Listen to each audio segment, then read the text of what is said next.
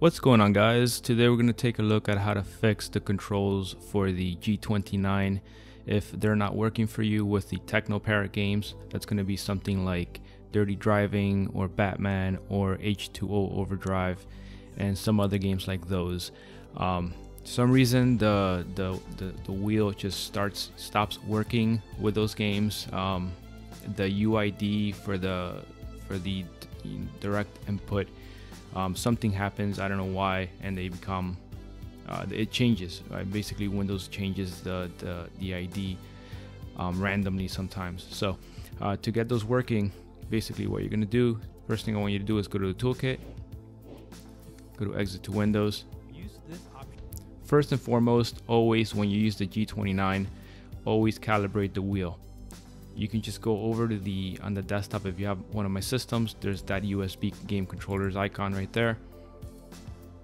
You want to go over here to properties and you want to go to settings and then go to calibrate and just follow what it says on the screen. It's going to have you move the wheel left to right and press the gas and all that stuff. Um, when you do that you want to make sure that Logitech gaming software is running. So mine is already running right here because I, I did start driving before in Hyperspin before I started this video, which will start that up, but you can double check that it's there, a little G, blue G. If it's not there, go to the start menu and there it is, all right? So you wanna have that running before you calibrate, but always calibrate first.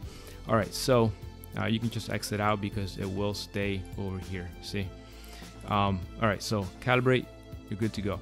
Now, I want you guys to go over here to utilities and I want you to go to Joy2Key driving MAME double click on that and then I want you to double click on joy2key.exe again that's going to go over here. It starts up minimized so you want to go over here and if you don't see it there click the little arrow and it'll be there. Uh, double click that it's going to open up. You want to go over to options you want to go over to configure you want to go over to the second tab here and then click the drop down.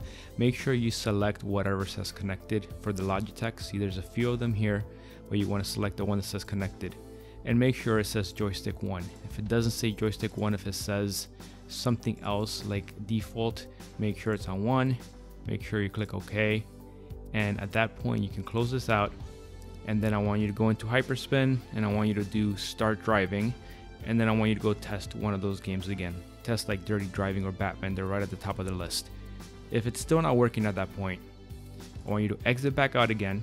Once again, make sure that LGS is running okay? Start it from here if it's not. I want you to go back to Joy2Key, so utilities, Joy2Key driving MAME, Joy2Key.exe, and then you want to go ahead, you can double click on it just to make sure it's running. You can leave it on the screen like this. All right, then you want to go to emulators. You want to go to Teknoparrot. Uh, you want to go to Teknoparrot driving games. Then you want to go over here to user profiles and you want to double click on Batman. And we're just going to minimize this and you're going to double click on dirty driving. Alright so now we have these two files open right? So what you want to do and by the way you guys can back these up just in case. It's always good to do it why not? So just right click user profiles copy that paste it. Now you have a backup if anything goes wrong. Alright so moving on, we're going to go to Teknoparrot UI. You're going to open that up. And uh, I like to use dirty driving for this. So click on dirty driving right there. You're going to see the icon over here changes and you're going to go to controller setup. It's very simple controls guys. Just start, crank up, view, wheel axis and gas.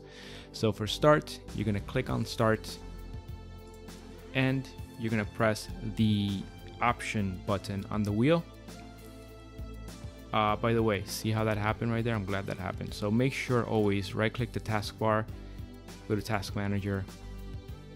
You can go to details, um, scroll all the way down and make sure that Xpadder, which I'm not seeing here. All right, let's try that again then. Since Xpadder is not running, um, well, you know what that what that is? That's probably Joy2Key doing that. So we want to click on this blank one right here. All right, I'm gonna click on this blank one, then try it again. So we're gonna click on start and press option. There we go. Driving buttons nine. All right, so then we want to go to crank up. Uh, you can skip that one actually. You want to go to view, click, and then press the triangle button on the wheel. It's gonna say driving buttons three again. All right. You want to end up saying what was there already. Wheel axis, driving X minus. So you're gonna click on that. I'm just gonna move the wheel to the left. There you go. And then click on gas and step on the gas pedal. As you can see, everything stayed the same way it was before. That's what you want, okay? You're just redoing it, redoing what was already there. Again, skip crank up, just do the other ones. After you do that, you do save settings. All right, now you're gonna you're gonna close this out, and you're gonna go over here to uh, Notepad++. I wanted you guys to keep that open the whole time. Just keep it open but minimized. So when you go over here, if you, when you select dirty driving, it's gonna say that there's some changes, and it's gonna say, do you want to reload it? You're gonna go to yes. All right. So for you guys, if it's not working for you, the wheel, this ID right here, this GUID, right? Only the numbers. You see how there's an opening tag and there's a closing tag with this forward slash. You're gonna copy only the numbers like that. Don't copy the little triangle, the little arrows at the ends, just the number. You're gonna copy that. And then if you go back to Batman, you're gonna see that Batman is gonna say something different. Again, for me, it's not doing it because mine is already configured, um, and I don't have I, I don't have the issue right now. It's not happening on my PC, so mine are matching. But on yours, when you go over to Teknoparrot and you did what we just did, this ID will change, and you'll see that this one, and then if you go over here, this one will be different.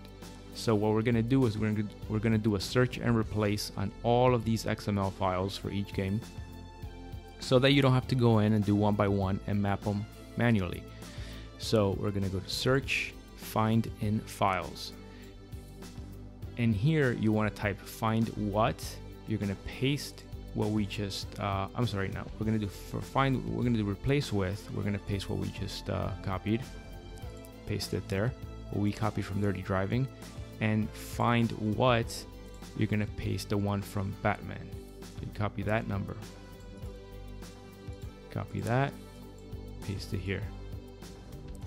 All right, so basically what we're telling it is find the Batman ID, replace it with a dirty driving ID. Why? Because we just did the dirty driving control mapping. So whatever ID is here is the one that we need for all games. So you want the Batman one to be replaced with the dirty driving one. That's why we're doing find what and we're putting the Batman ID replaced with we're putting the dirty driving ID. Then for filters you want to do asterisk dot xml. And then for directory, you want to click three little dots.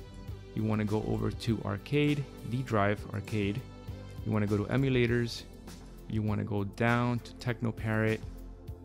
Uh, where is it? Teknoparrot driving games.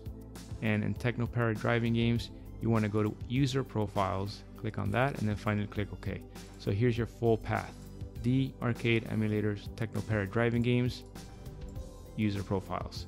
All right, so now it's going to replace every single file that ends in XML, which is all of the files inside of the user profiles folder, is going to replace this number with this number. Again, mine is the same, on yours it wouldn't be if it wasn't working correctly. At that point, you're gonna do replace in files. You're gonna click on that. You're gonna click OK if it asks you to confirm or whatever. You're gonna let it do it. Now, what you're gonna notice, because you have these two open here, is that when you click on Batman, it's gonna tell you that it, it the same thing it asked me before. It's gonna say if you wanna refresh it, you're gonna click OK, and you're gonna notice that this number here is gonna change. Because by doing this, you updated that number, right? So now Dirty Driving and Batman are both going to match.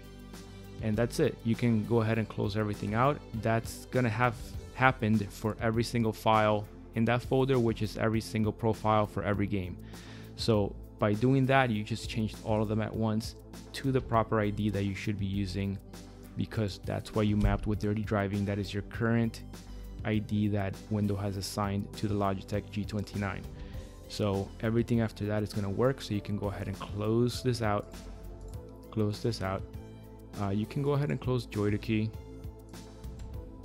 And you can go ahead and uh, just start up Hyperspin, do start driving, and go ahead and test Batman or Dirty Driving, and it should work just fine. And just one more time, guys, very important when you go to Joy to Key, driving MAME, you open it up.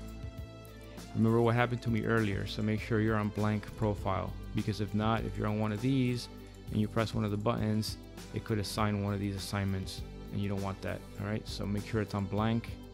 Then go ahead and open up Teknoparrot and do that dirty driving mapping. All right, guys, that's gonna be it. That was a little bit, you know, it seems like a lot of stuff to do, but once you do it once or twice, it's it's really easy. Now just follow along every single thing I said, and you'll be good to go. I'll see you guys on the next one.